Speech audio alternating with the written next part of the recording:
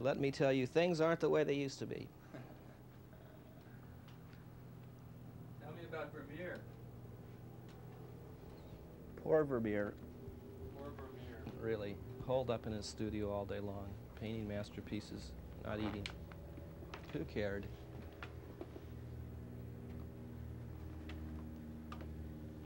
Put that on an easel.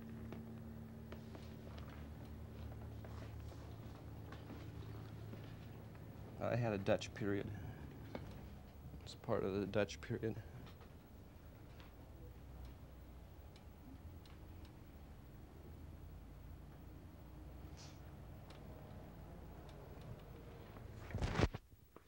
This is when I lived in Peru. This is my studio. This is Debbie again, the young, fair Deborah, posing from the, the back. This is more or less to Van Eyck. I carried a Van Eyck painting book with me at this time when I was, we were hitchhiking around Peru. And looked at Van Eyck every day.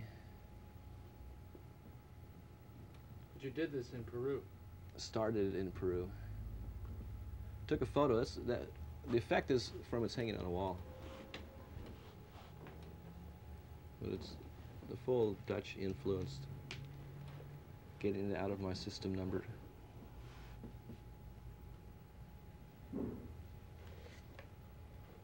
Plus, the is a good format to get into every now and then. Just re- relieves your mind from all the parallel lines.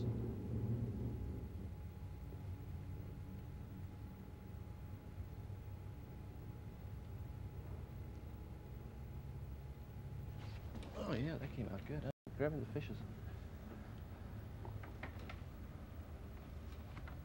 A little torso. Another on the beach scene.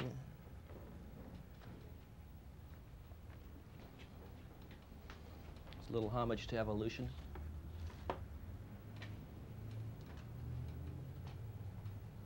What did you call that?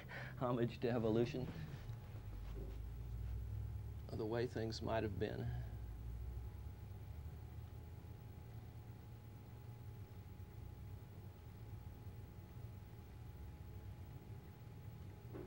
What do you mean that we would be like fish?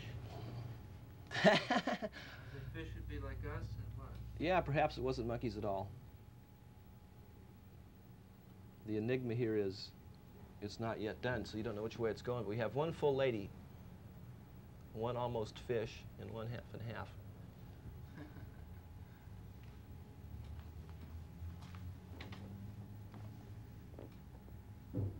So this is just an instant captured in time.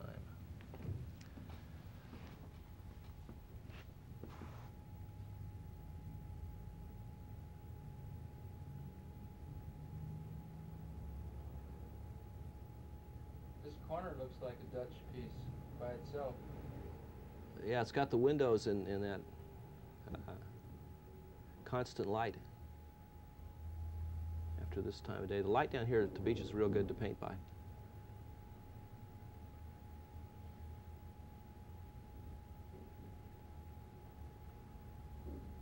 This is all from 72 to 74 when I was doing all this kind of stuff.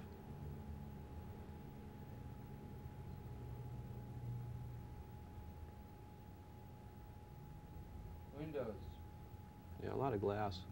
Glass, yeah, I love glass. It's. For a while, I went through a thing with it. Glass. It's an interesting thing to paint. Look at all the glass here. Look at this. Glass everywhere. It's wonderful. Glass in the painting. Glass on the table. What is glass to you? Well, you got three realities, uh, it, through it, and on it. You can paint them all at once, and it's kind of fun.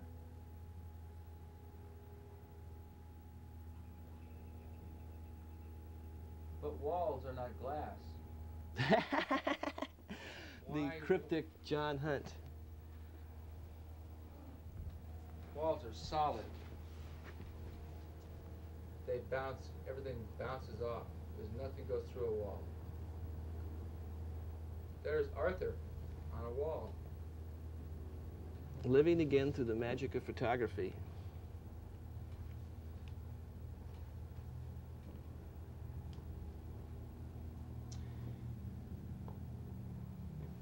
Piece is no longer there. No, one of the many tragedies of my career. In a tragedy-filled career. That was at the corner of Hart and Pacific. Yeah, that, I wanted that painting to last, but I knew that it wouldn't. Hmm. Shall I cut off my ear now or later?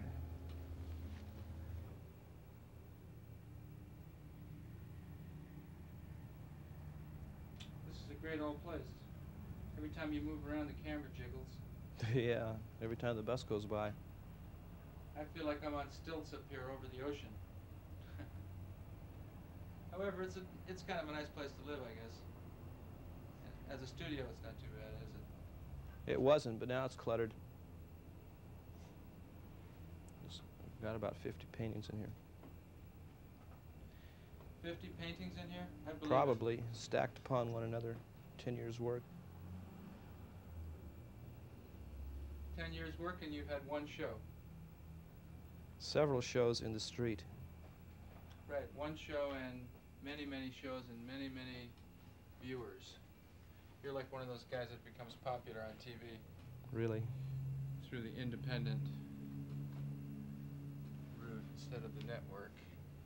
yeah, a lot of people have seen your work because you've been up on the walls. Yeah. Viable medium, Yeah, right. Especially on a busy corner. Well, like this piece here, this piece, I, I couldn't tell you how many people go by that wall every day. Yeah, it wasn't long enough to, to make the good impact.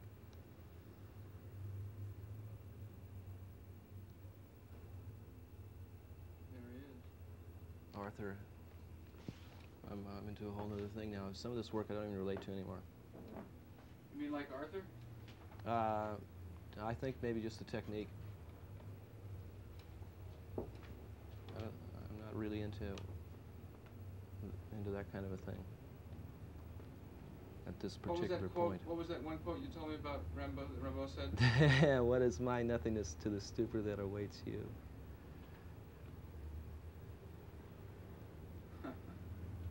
That's great.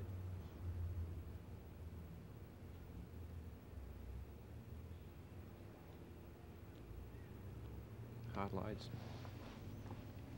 Let's just let's go eat.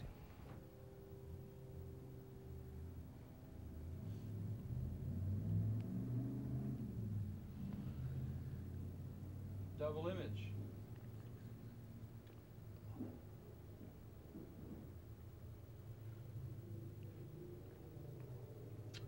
So what do you think of that footage of yourself?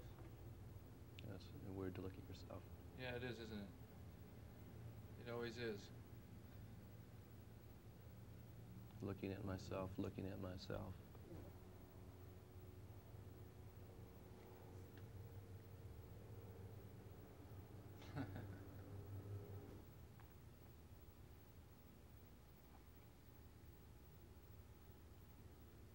when did you do this? 1973. This is myself as a famous painter. Wayne Holwick as a famous painter. Yeah. That's great, man. Hmm. Top billing in my own act. That's what portrait artists are supposed to do, aren't they?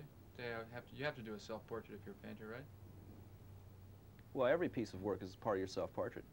Hmm. It's just a little more blatant.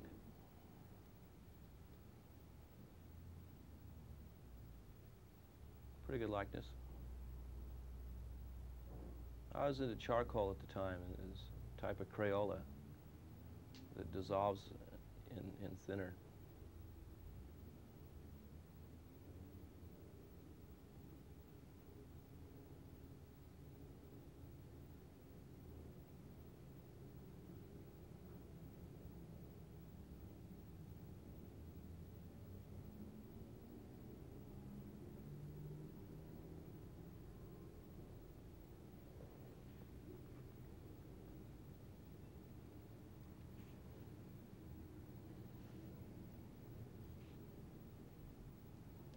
I was reading about uh, Courbet this morning. He said that a, uh, a painter is just a man with vision.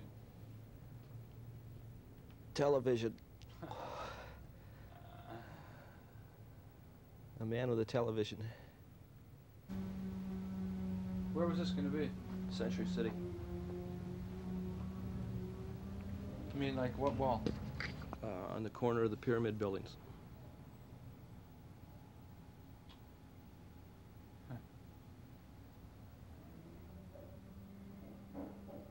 Why didn't they do it? I remember this. They didn't want to do it or something. What happened? No, I just they couldn't deal with the image. it was pretty humorous. That guy looks like he's looking at it in the, in the photos. This guy that made these up did a real good job.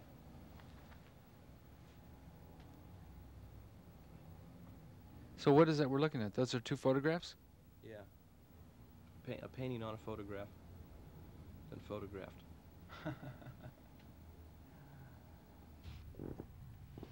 This this is going to be the next mural.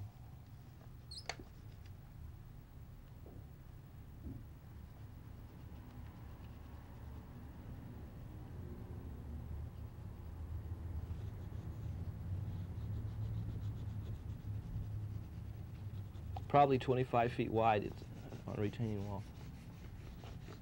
Where's it going to be? On a, uh, Pacific Coast Highway.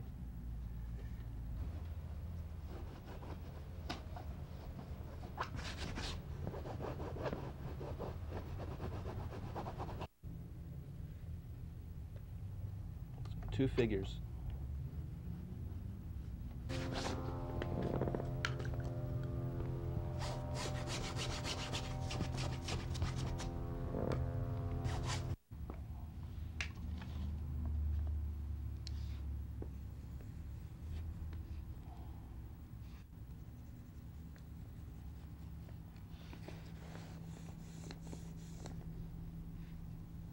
These are cave paintings.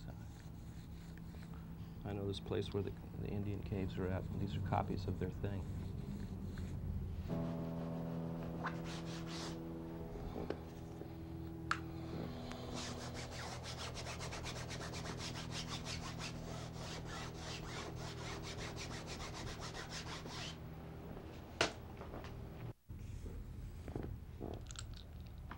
And then that'll be 30 feet high. You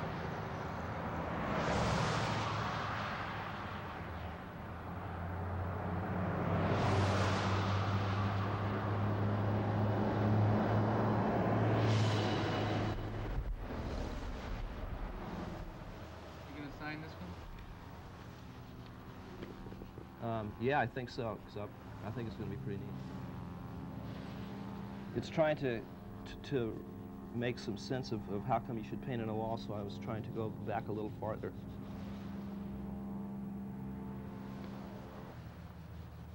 This fits better. This is Chumash. These designs are based on Chumash drawings. This drawing here, I don't know if you can see it. I'm building a studio about 100 yards from where this cave is at. And there's a lot of drawings in there. This is about six or 700 years old. Cabrillo or, or uh, Cortez, one of those people, landed in, in Point Dume. It's a good history along the coast. It's just, it's just not, it's subdued.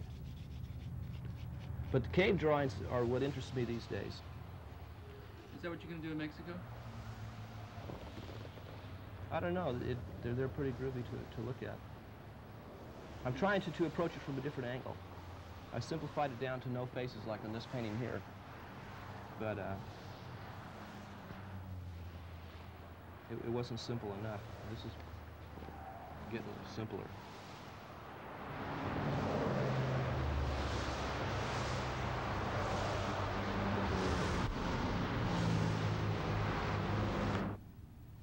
I haven't painted for six months, and so it feels like I'm trying to jump over some kind of gap, so I'm looking in a different direction for simplicity.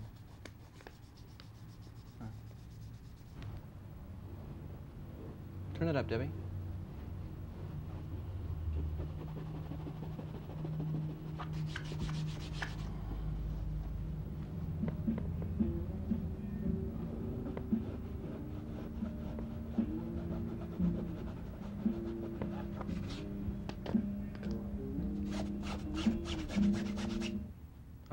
Stalemate in my thought processes. This is an unusual time to be doing this artistically.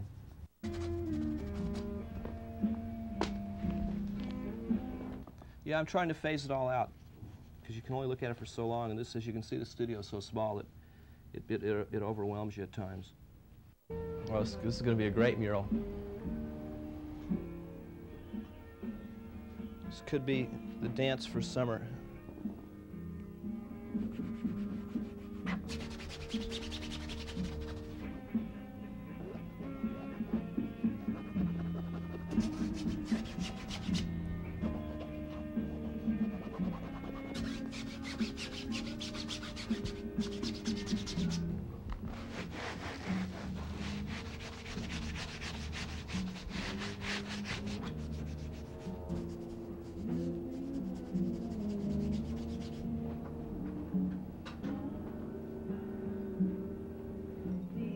This is in keeping with the whole stigma, little ashes, do fireplace. Chalk is just the dirt all pressed together. It's pretty dirt.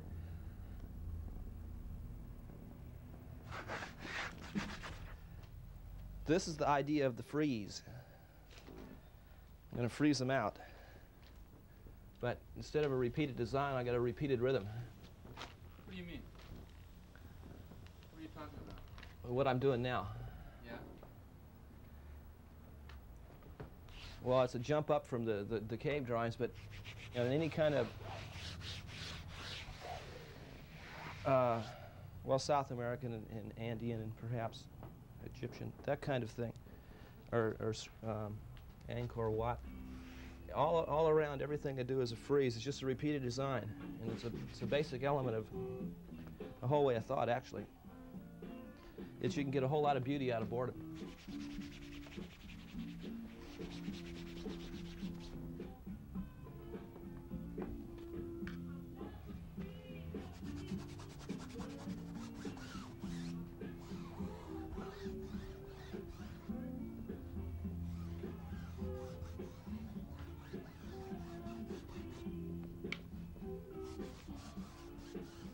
See, up till now, all the, the, the wall paintings that I've seen are something imposed over something else. When I want to try and bring this from the inside out, I think it, it'll probably be too subtle to see when, you know, it's just the idea. Do you think people will know where it comes from? They won't even fucking care. Think that makes a difference? That makes it better. What do you mean if they don't care where it comes? Spontaneous.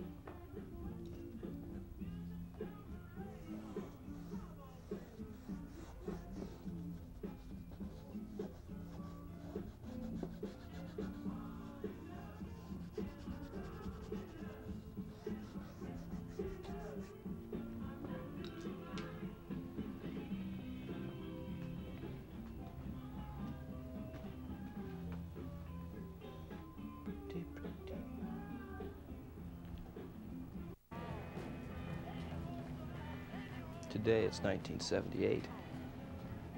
My, how times change.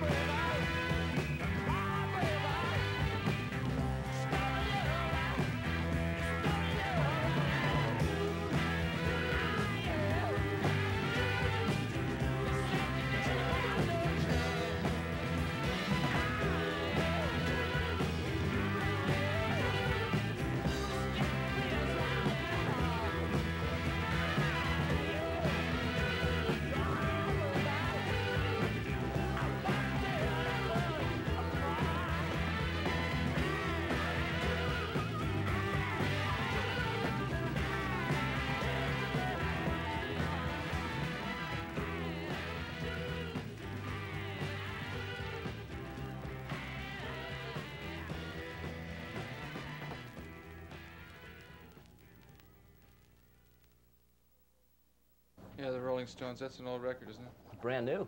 That's brand new. Yeah.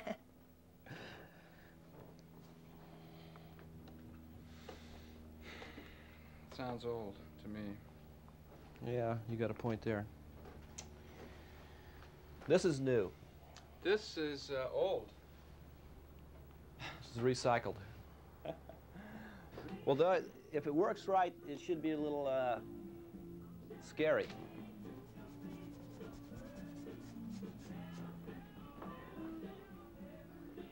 In the long run.